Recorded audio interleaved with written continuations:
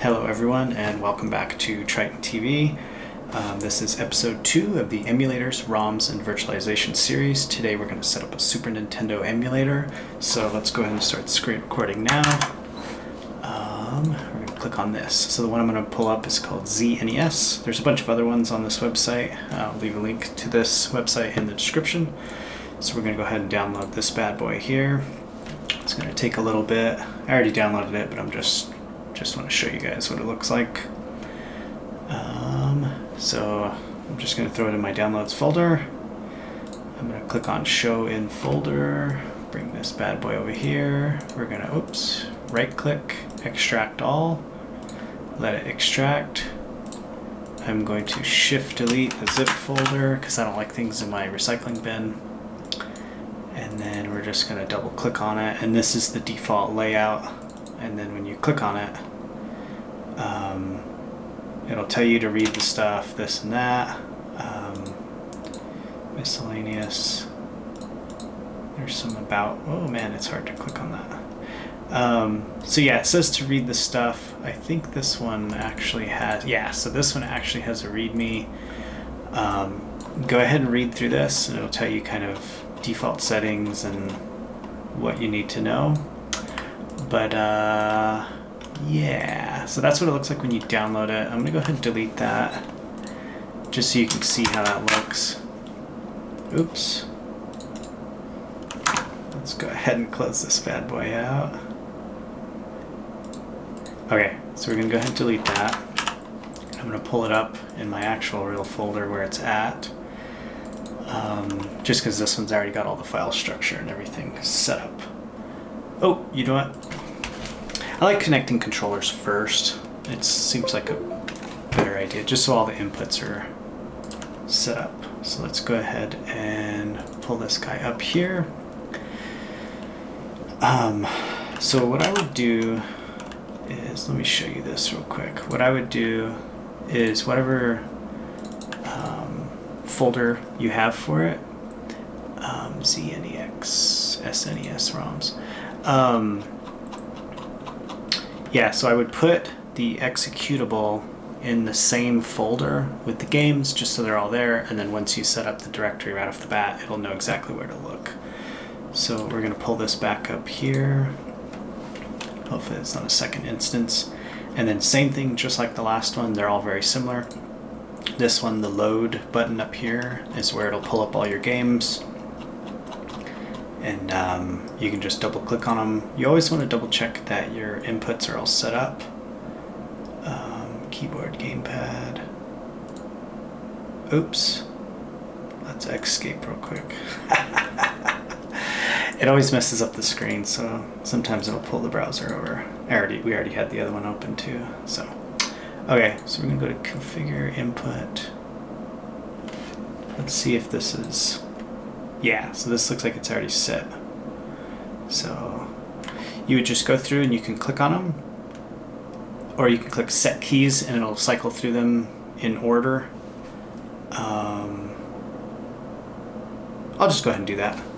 So it says enter the key or button to use for up, down, left, right, start, select, A, B, X, Y. I think I messed those up. Let's do that again. Up, down, left, right, start, select, A button, B button, X button, Y button, L, R. Okay, there we go.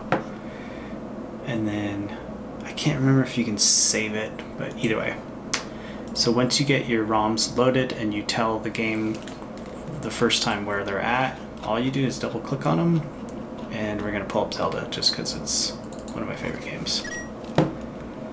Um, yeah, I believe the tilde key. The tilde key is the one that does the turbo. So if you want to skip through, you know, this stuff.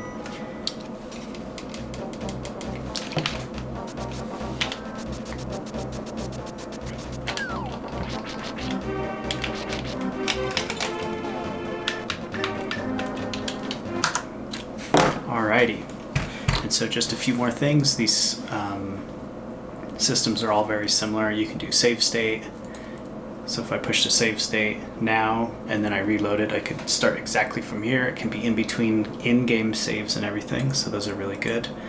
Um, you can open a save state. Um, you can reset, just like hitting reset on the Super Nintendo. Um, like I said, the most important, like on the last one, the most important um, things are inputs and then video settings. Um, this one you can't run at any much higher than this, and so uh, I guess you can, but it might get grainy. This is just the default, I believe. It's fine, it works for me. So, um, and then you have devices. You can just double check your things are connected. That's why I always plug them in first.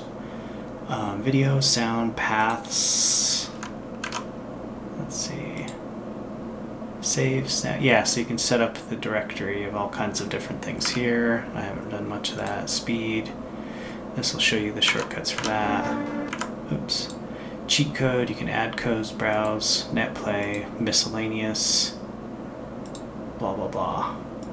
Very cool system, really easy to set up. You're going to download the zip file, unzip it, um, get your ROMs wherever you get your ROMs, especially if they're Nintendo. Just double check legality and all that. Um, and then you're going to set up your directory, and then you can play your games. One big advice that I have is always connect your controller beforehand, just so it knows what to look for for inputs. These systems aren't the best at detecting while you connect. Um, yeah, that's pretty much it. Hopefully you guys have fun playing some retro games. That is the SNES little short tutorial um, in the emulators, ROMs, and virtualization series. I'll see you guys next time. We're going to look at the Nintendo 64. That one's a little bit more detailed. We'll spend a little bit more time on that. But this one's very similar to last one. And you can try other different ones. They're all the same. I just know how to use. I've had this one since I was in like high school. So I've had this one for over 10 years.